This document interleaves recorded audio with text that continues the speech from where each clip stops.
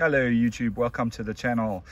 So today we're going to do an unboxing and first review of another Trivisa or Travisa knife. I'm still not too sure how to pronounce that, but yeah.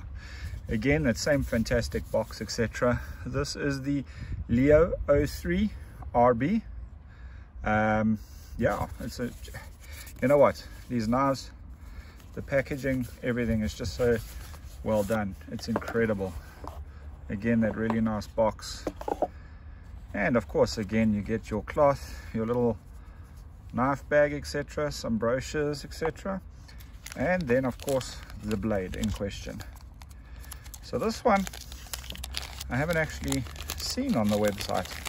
So this is going to be quite an interesting one. Let's get that stuff out of the way. There you have this beautiful piece of, of steel I'm just wanting to show you the fit and polish. Check how centered everything is, how polished the fit is. It's quite a nice skeletonized scales with uh, liners.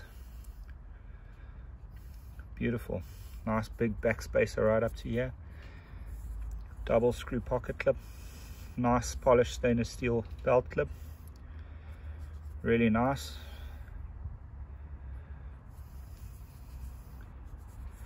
Again, Got some jumping on the side over there.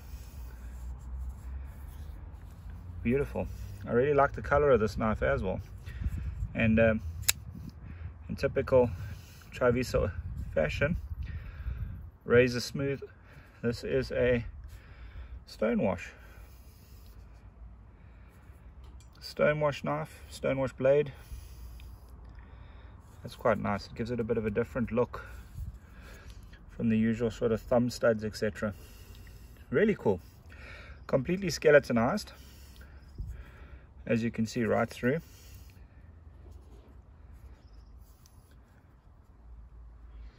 Beautiful workmanship. Again these knives really do hold their own with their quality and at a really good price point absolutely love these blades. And I look forward to seeing many many more of these in action. And let's get to a paper sharpness test.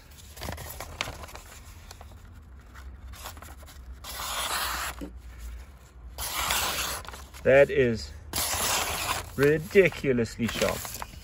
That blade is crazy sharp guys. Um, beautiful piece.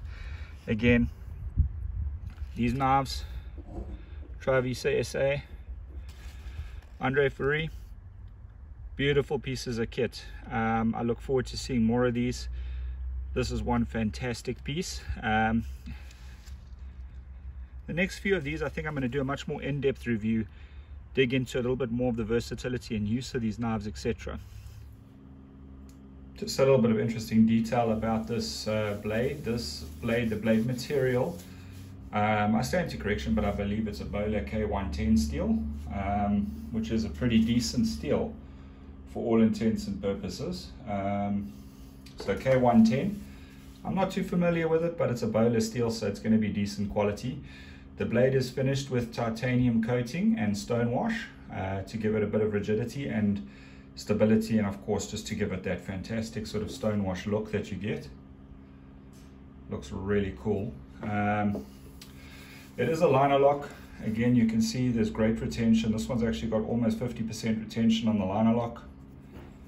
Uh, everything about it is just beautiful. Um, this one, uh, the hardness will also be between 58 and 60 HRC on the Rockwell scale, ceramic ball bearings. The overall length of this knife is 218 millimeters. The blade length is 95 millimeters. Closed length is 123 millimeters like that. Um, the blade width, which is pretty much from this point to this point over here, at its thickest will be 27 millimeters or 1.06 inches. Um, and the blade thickness, again, a little bit thicker than most at 3.5 millimeters, making it quite a decent blade for um, strength, etc. Really cool. I still love that skeletonized look about it.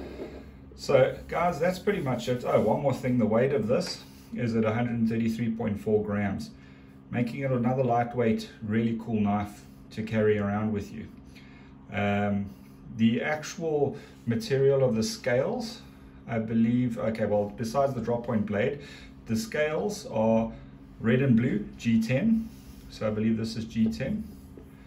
Um, so yeah, that's pretty much it, guys. Another really cool knife. I wish I'd had more time to um, peruse this blade, but obviously time is of the essence and uh, I have a few more really cool knives to get through. So, but this one, beautiful. Absolutely gorgeous.